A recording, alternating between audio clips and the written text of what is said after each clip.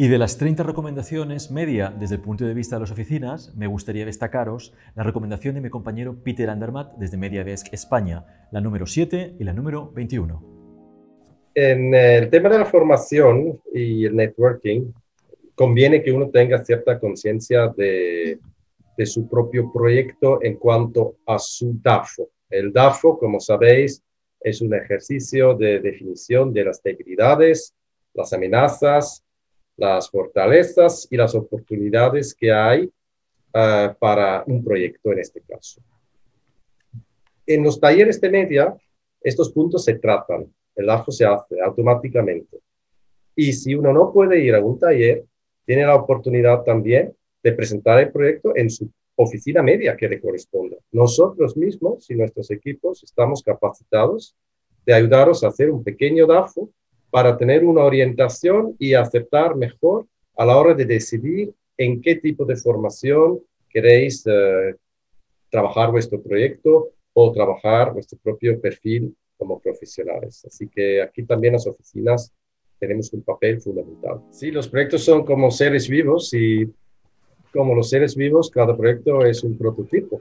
No hay dos que son iguales. Algunos, no obstante, se parecen, ¿no? Es decir, que yo creo que hay que entender que uno de los valores añadidos de nuestro proyecto, por muy único que sea, es que se parezca de alguna manera a otro o otros que ya se han hecho y que ya se han visto, y donde hemos podido comprobar que el proyecto ha funcionado desde el minuto uno hasta el final de su ciclo de explotación.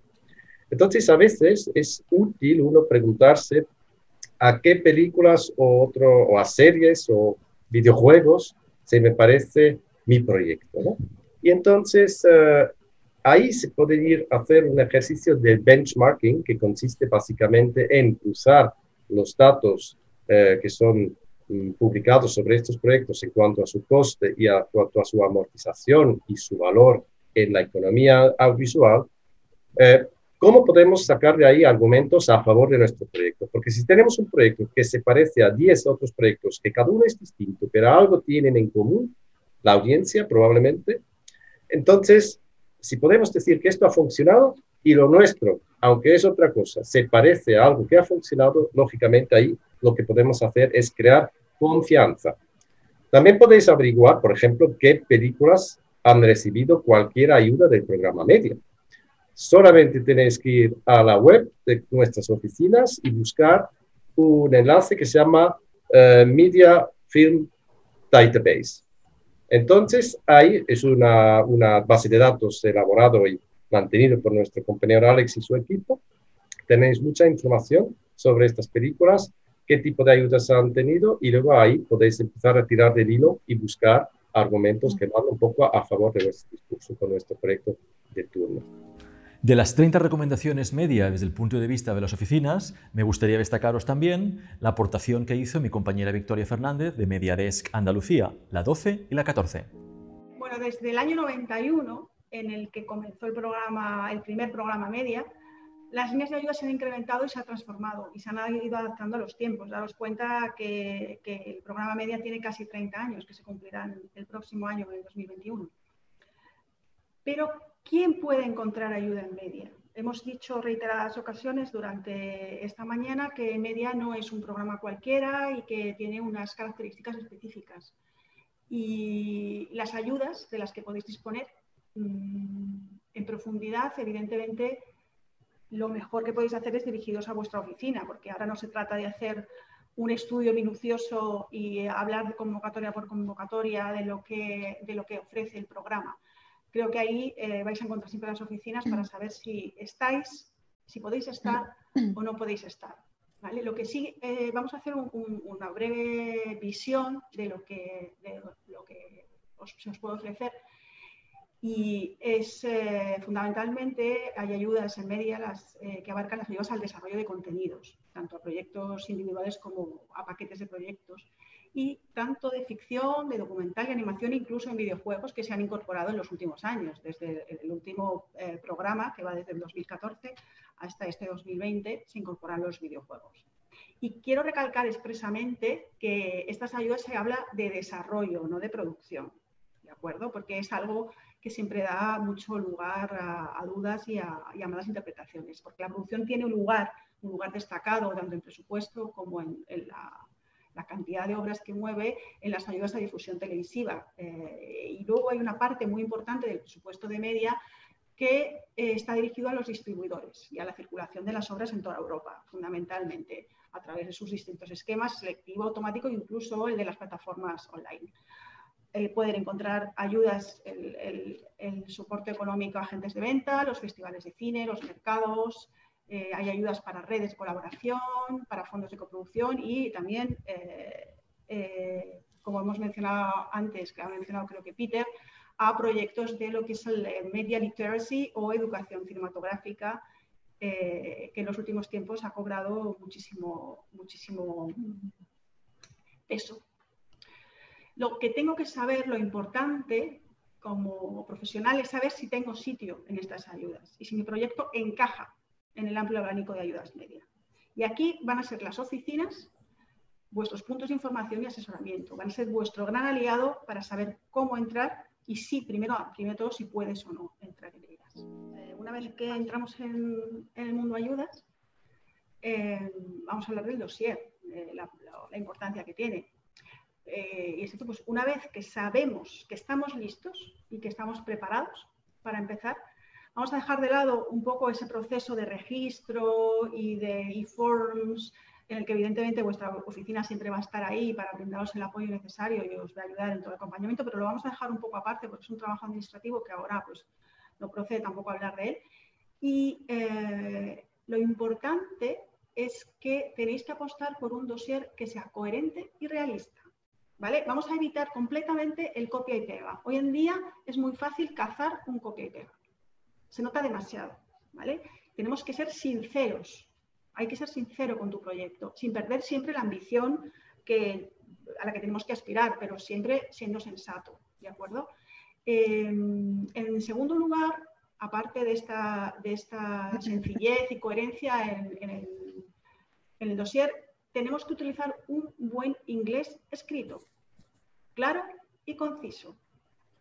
¿De acuerdo? Tenéis que aspirar a ser el más guapo de la clase, el más guapo de la fiesta y tienes que tener siempre presente el ponerte en los ojos eh, de ese experto, de esos expertos que van a leer tu proyecto. Les va a caer en las manos, va a ser tu, tu tarjeta de presentación, les vas a vender completamente tu proyecto sin estar allí, sin hacer tu pitch, por lo que tienes que ser sexy, o sea, tu proyecto tiene que lograr seducir a los ojos de un extraño que no conoces.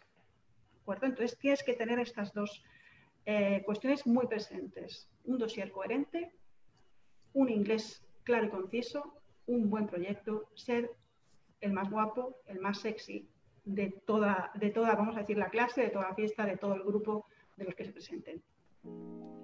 Y también la aportación de mi compañera Ainhoa González desde MediaDesk País Vasco. De entre esas 30 recomendaciones, os destacaría la número 2 y la número 30.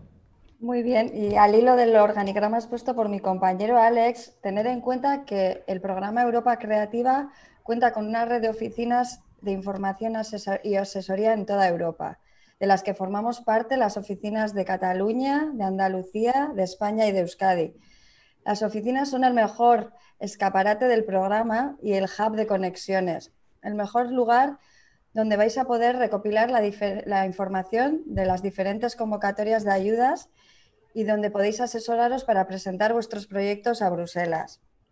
El mejor lugar donde conocer qué talleres de formación están apoyados por media y obtener la lista de festivales y mercados donde mejor vais a poder mover vuestro proyecto.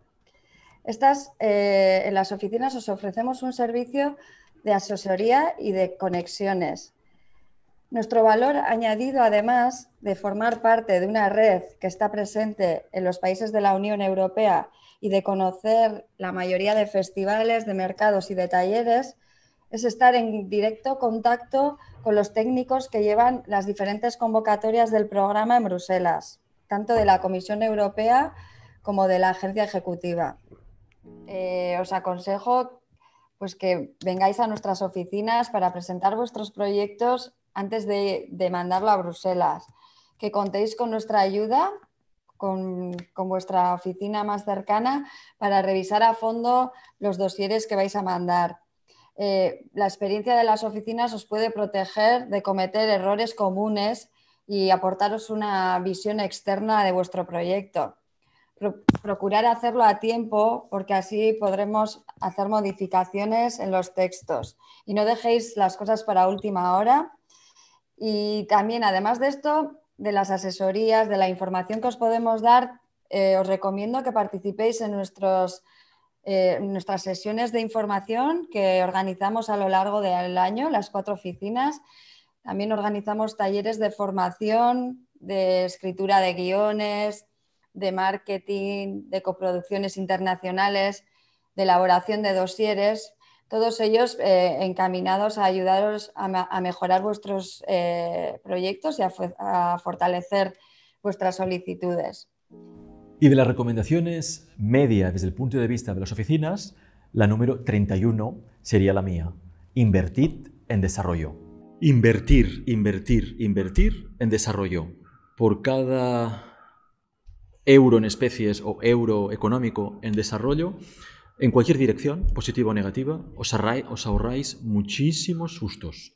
Ahí va todo. Asesoría legal, pasar por las oficinas, eh, hacer networking, buscar los padrinos y madrinas, acogeros ese win-win situation en cada una de las decisiones, es decir, que sea bueno también para el counterpart, invertir en desarrollo. Si las queréis ver todas, podéis eh, ver la sesión completa aquí en el canal. Y si os ha gustado, suscribís para más sesiones.